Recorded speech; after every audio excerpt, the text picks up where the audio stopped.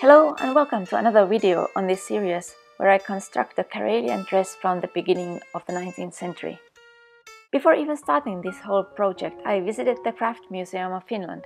It is located in Jyväskylä about 3 hours drive from my home. The drive was worth it as I spent hours examining beautiful folk costumes and other handicrafts in a museum that was practically empty due to it being the middle of the week and, well, the virus. The main attraction for me was the small Karelian costume exhibition by Lena Jääskeläinen, featuring reproduction sarafan dresses and other garments from the 19th and early 20th century. The main museum also featured some lovely examples of Karelian embroidery and other Finnish folk costumes. The accessories often featured with Karelian dress are aprons, pockets, caps and scarves.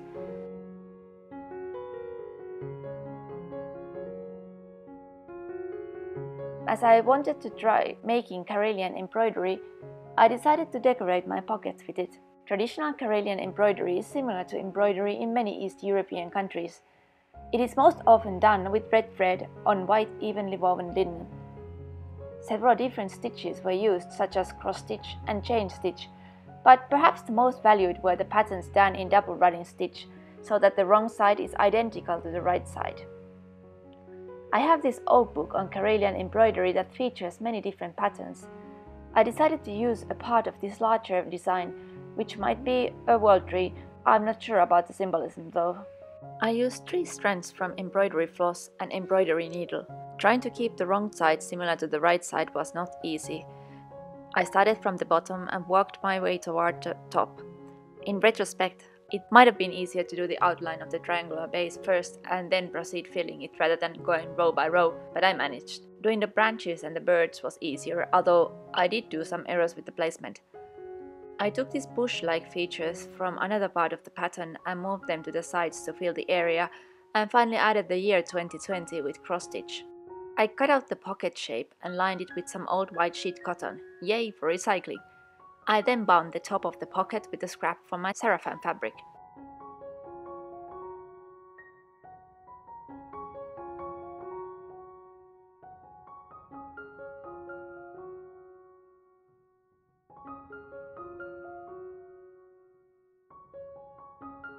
The back part of the pocket is cotton velveteen from my old breastback project.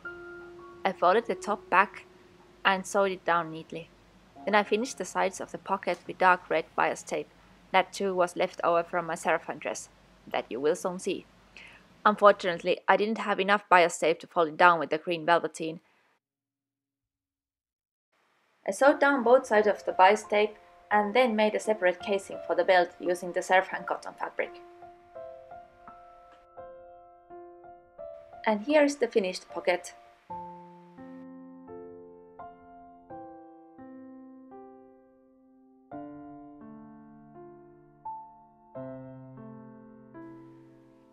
Karelian women made their finest aprons out of silk.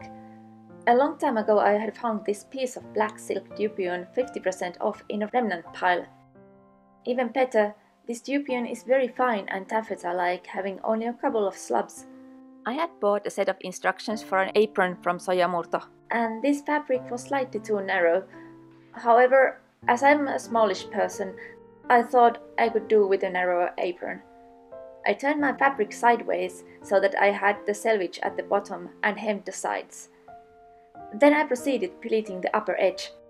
The upper edge should be something like 35 to 40 centimeter wide, and it took me some experimenting to get the pleats right.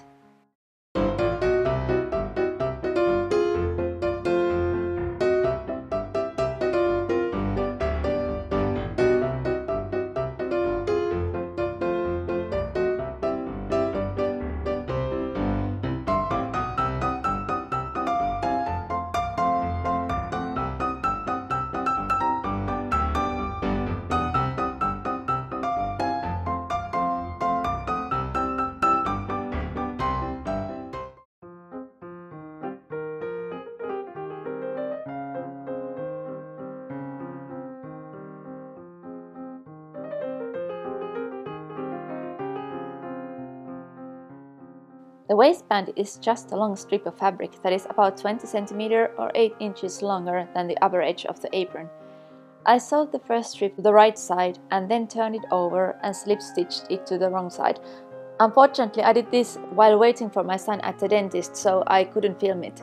The ends of the waistbands are folded back to form loops for the belt. I finished the apron with a strip of lace and a piece of gold braiding at the hem. For the cap, I made a simple linen cap.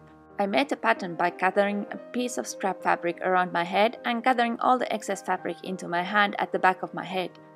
I cut out the extra fabric and ta-da! I had a pattern. First, I folded the selvage edge and sewed it down. To gather the extra fabric, I sewed a strip of bias tape to the curved edge to make a casing for the tape. However, the first attempt failed. There was just too much fabric to gather, and anyway, the cap was still slightly too big. For the second version, I cut the cap slightly smaller and pleated most of that extra length before sewing on the bias tape. Now the cap was successful.